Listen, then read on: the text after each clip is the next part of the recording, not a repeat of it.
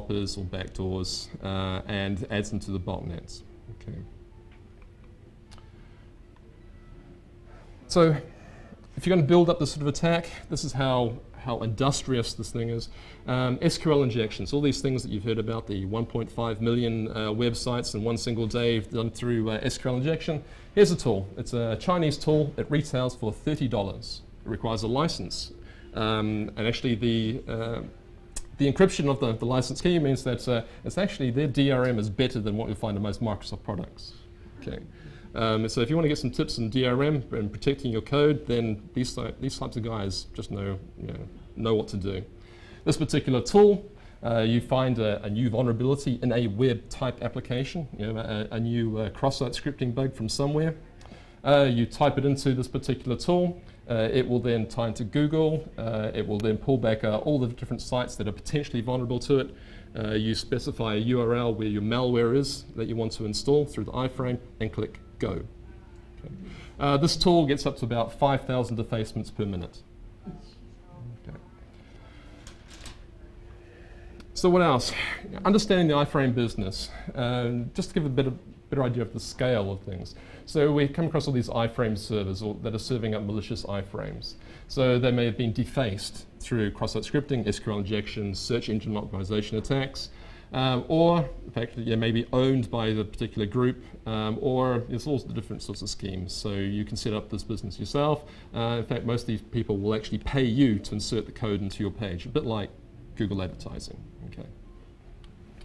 This stuff then goes onto the exploit script service. So these again, other uh, other servers that have been compromised or are parts of botnet empires. Uh, and they are serving up the malicious JavaScript, ActiveX exploits, missing codecs, Office documents, and things like that. So this is where part of the malware comes in, and uh, exploit, which then, talks, which then connects back to the malware servers. And so these malware servers are doing, you know, providing all the custom malware and all the banking trojans. The thing to realize is that these, all these different parts are different groups, uh, more often than not, and they're all working together as part of an ecosystem. It gets even tougher because then there's another ecosystem down the bottom here, uh, such as providing fast flux services, single, or double fast flux, uh, that then protects all of these compromised hosts from being taken down. Okay. So that's what, you know, this is the, the framework for you know, getting those millions and millions of hosts compromised. Now, the, the tools themselves, the drive-by download tools, have become commercial entities. Okay, so in the last year and a half, so here we have you know, Web Attacker, MPack, I'm sure everyone's heard, IcePack, FirePack, Neosploit, Blacksun.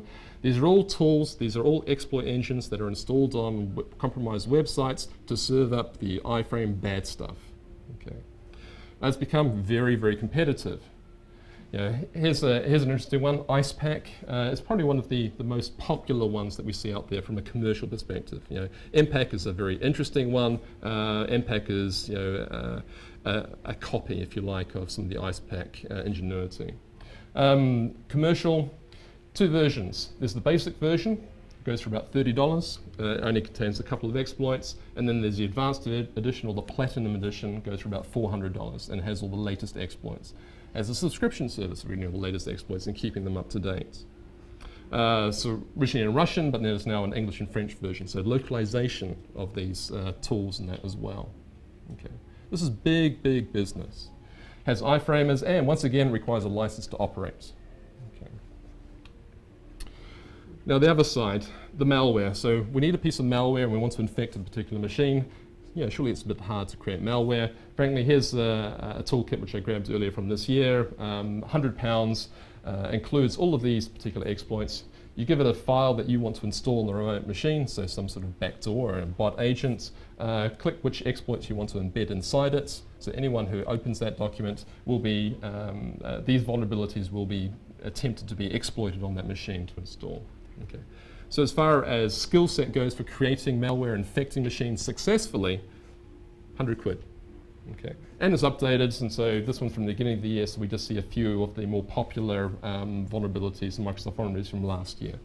But they don't need to be perfect because, uh, unfortunately, you know, I released, uh, helped release the paper with uh, Google and ETH University about two months ago, uh, and we found roughly about uh, 630 million hosts vulnerable to all these attacks that haven't been patched for at least a year. Okay.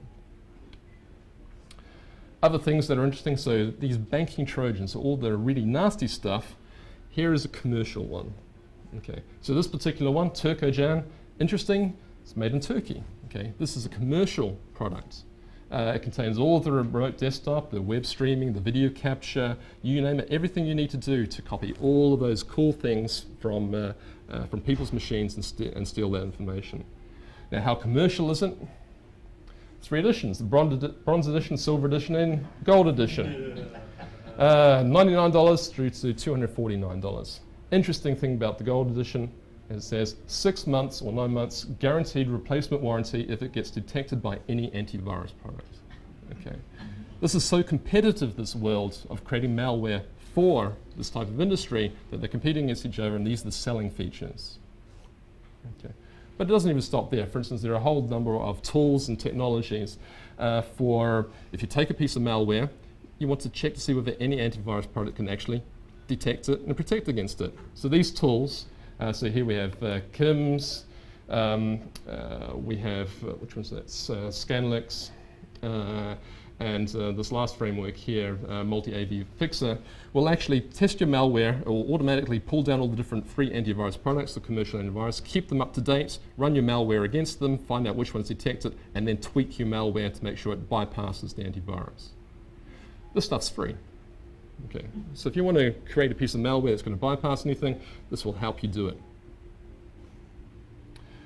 So let's get into some of the interesting things. So this is, you know, given that we talked about why so many people are being compromised with these hundreds of millions of machines compromised, and how easy it is to start a business in there and all this different malware and creating your own business in that. How does it really, really work? Traditional banking malware was focused on stealing the login information. So everything you needed, the bank number, the user ID, the password, session keys, this sort of thing. So you relied on uh, key logging, screen, uh, screen grabbing, video recording, uh, redirection to a counterfeit sites, uh, pop-ups, overlays, session hijacking, duplicating session cookies, screen overlays, all these sorts of things. You know, these are all the good things that we've uh, heard lots and lots about. We'll still find lots and lots of malware doing this. Okay. But from a protection perspective, there are a lot of things you can do. You know, so uh, instead of asking for a full password, you only ask for certain parts of the password, so that uh, screen capture or keyloggers can't get all of the password each time. So there's a lot of new technologies or newish technologies that have been embedded into web applications to stop this type of stuff. Okay, but this this type of malware, traditional banking malware, has been around since about 2001, 2002. Okay, so this is old hat. So a brief, brief thing about man in the middle. So typically, you know, you want to do customer's PC, connect to the web service, and everything's nice. Okay. So man in the middle, of course, um, the man in the middle sits in the middle, intercepts all the different traffic. So it redirects uh, the connection to the end servers uh, through proxy, uh, proxy setting changes, DNS modifications, or network routing changes. And of course, this allows the attacker themselves to view all the, the text and uh, all the communications in clear text. Um, you, so you can intercept confidential data, terminate SSL transactions, um, uh, connections, uh, and modify and inject new content. Obviously, the way to, you know, there, there, are a number of different tools and technologies that you can use to prevent uh, man-in-the-middle attacks. Okay, and uh, there are a lot of uh, nice algorithms that you can use from the server side to detect whether this is going on. There's a lot of um, uh, heuristics that you can play from a, you know, a large application side about whether you're seeing the same man in the middle appearing on multiple transactions. So from a banking perspective, protecting against uh, man in the middle attacks is a solved problem. Okay, it's still a problem.